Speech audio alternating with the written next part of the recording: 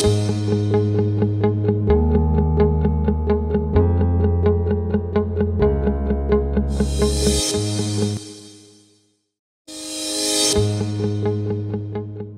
Schülerrat tun wir meistens Probleme besprechen, die was in der Schule so vorkommen.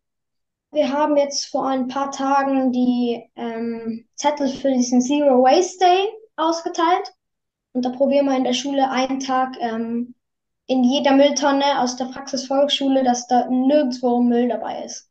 Wir haben ihnen gesagt, dass man vielleicht, wenn dann, keinen Müll erzeugen sollte oder zur Jause auch nicht so was in Plastikverpackungen äh, mitnehmen soll, vielleicht auch schon zu Hause auspacken. Ja, es ist sehr spannend auch als Schulsprecher, weil man muss öfters mit den Zetteln herumgehen und sie in den Klassen verteilen. Ähm, ich habe auch, seitdem ich Klasse, als Schulsprecher geworden bin, kann jetzt viel ähm, besser vor, an, vor Leuten sprechen. Und ich würde es empfehlen, Schulsprecher werden zu wollen, weil es macht sehr viel Spaß, auch die Zettel zu verteilen und so eine große Rolle zu haben. Weil, also ich finde, wenn man so durch die ganze Klasse, ich muss fast jede Woche ungefähr so ein, zwei Mal mit den Zetteln durch die Klasse gehen und da kriegt man zum Glück auch manchmal ziemlich viel Aufmerksamkeit. Für mich ist das ein angenehmes Gefühl.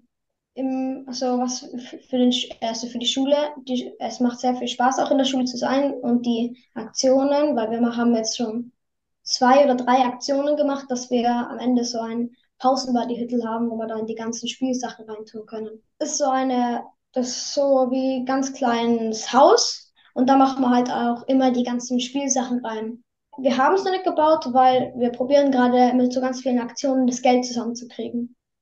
Wir haben zu Weihnachten einmal so eine Aktion gemacht und das war, wo die, ähm, wo ein paar Erwachsene und so ähm, Kekse gebacken haben und dann haben wir sie für einen Sack in der Schule für zwei Euro verkauft.